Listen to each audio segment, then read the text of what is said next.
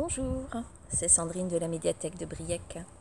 J'espère que vous passez de bonnes vacances.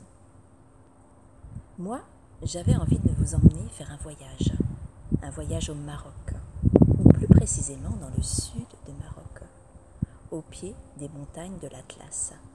Là-bas vit un peuple qu'on appelle les Berbères. Et aujourd'hui, c'est une histoire de là-bas que je vais vous raconter. Vous êtes prêts, bien installés, vos oreilles grandes ouvertes Alors, on peut y aller. Il pleut, il pleut, berbère. Une histoire écrite par Gérard Allais, illustrée par Marianne Larvol, aux éditions Locus Solus, que je remercie au passage.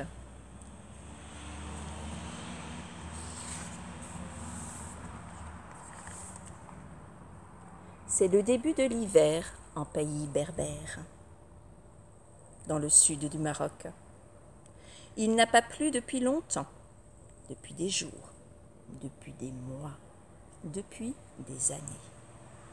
Et sans pluie, pas de légumes dans les jardins. Sans pluie, pas d'orge dans les champs. Sans pluie, peu d'amandes dans les amandiers.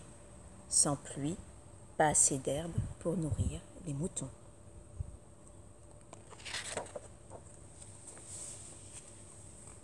À Dodane, Saïd met plus de trois heures pour atteindre la ville.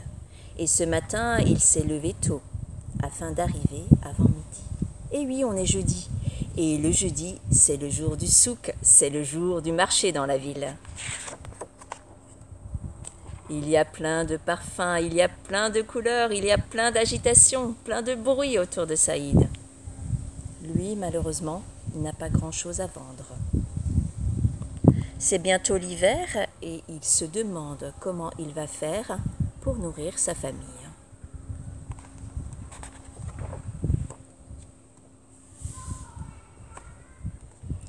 Au retour du souk, Saïd n'a qu'une seule solution.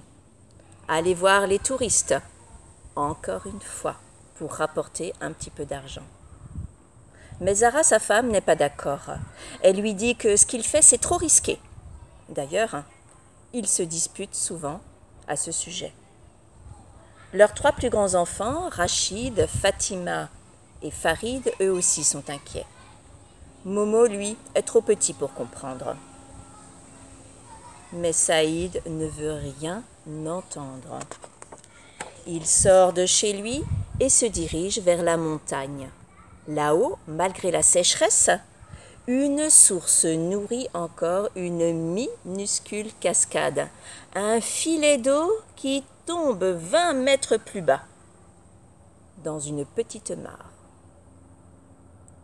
L'endroit magnifique et vertigineux, évidemment, attire les touristes.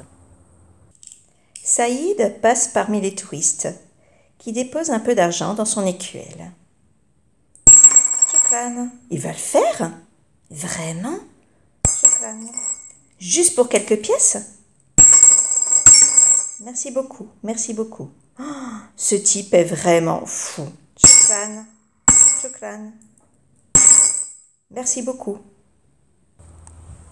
Sa quête terminée, Saïd enlève sa djellaba et escalade la montagne. Vue du sommet, la mare paraît aussi minuscule qu'un confetti.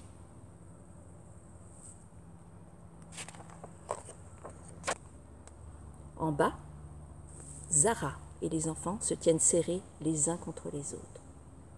En haut, un nuage couvre maintenant la crête de la montagne. Et Momo se met à pleurer. Saïd saute dans le vide.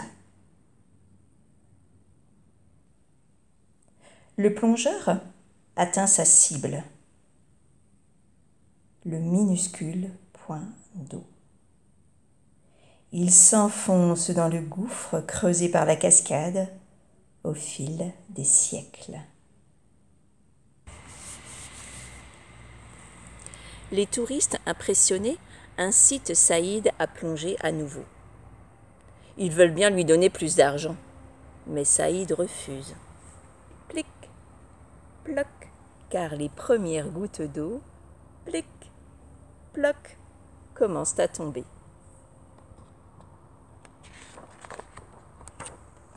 Alors il remet sa djellaba et s'en retourne chez lui. Il pleut de plus en plus fort. Les touristes affolés, vite, vite, se mettent à l'abri. Saïd, lui, est heureux.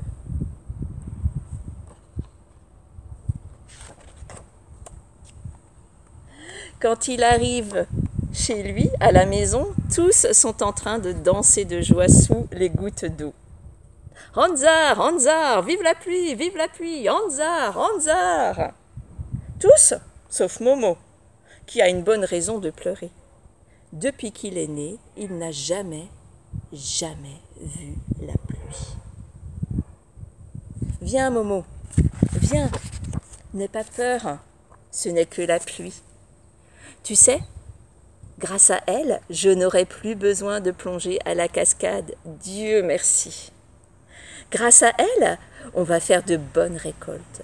On aura du blé pour faire du pain. On aura des amandes et de l'herbe jolie. C'est les moutons qui vont être contents. Et grâce à elle, on ira au souk, tu verras. On achètera des chaussures.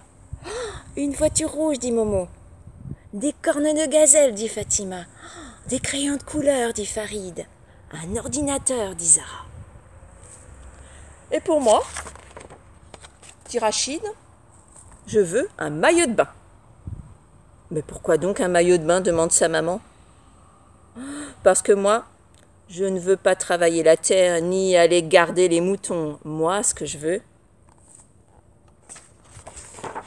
c'est plonger à la cascade comme papa.